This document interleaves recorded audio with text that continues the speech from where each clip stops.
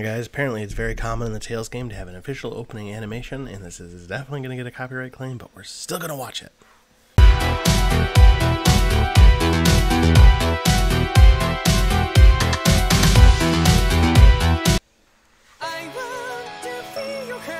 Also, the song's a banger.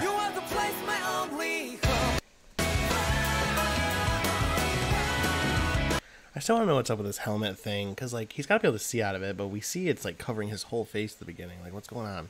My theory is, like, at the end of the game, it all comes off and, like, some type of power-up or something. I don't know.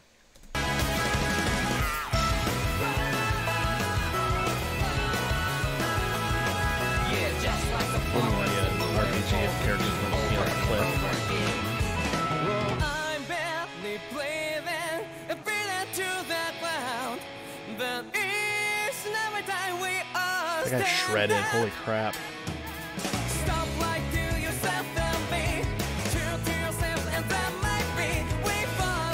What is this?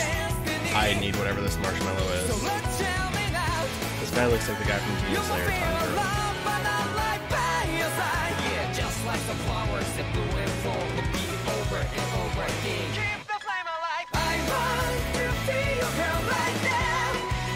And we're definitely fighting this giant wolf thing, right?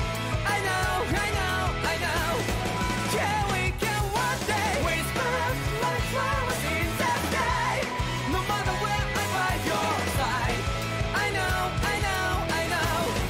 You and I, let's fly the souls that we're together. She's definitely bad. He's definitely a Can't feel my habits, so take He's definitely a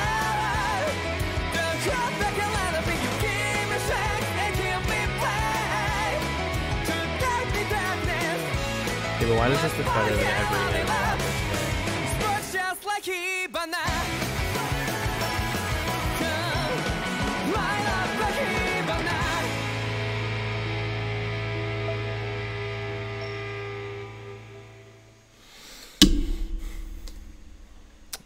If I didn't already pre-order the game after watching this, I would have pre-ordered it. So, just saying, if you're watching this and you haven't pre-ordered it yet, you just don't like good games, I guess. I don't know. Um, question of the day, though. Let me know down below if you're gonna play this game. Because look at all those consoles, PS4. Like, unless the only console you got is a Switch, you can play this game, and it looks friggin' sick. So, let me know your thoughts. Fingers crossed this copyright claim doesn't delete all my stuff. Bye. Whew, another video done. Wow. Thanks for watching. If you're already subscribed, thanks for subscribing. If you're not subscribed, what are you doing? What are you doing? Hit the button. Let's go. It's right down there. Like button's down there too. You can comment. If you haven't, I'm disappointed. Bummed out. Let down. But you can hit the button. Hit the button. Subscribe to me on Instagram. Subscribe to me on Twitter. You can even subscribe to me on Twitch. Any of those. All of those. Any of them. Why haven't you? Is the guilt trip working? If it is, you should have hit the button. But if you already have, thanks. Appreciate it. I'll see you next time.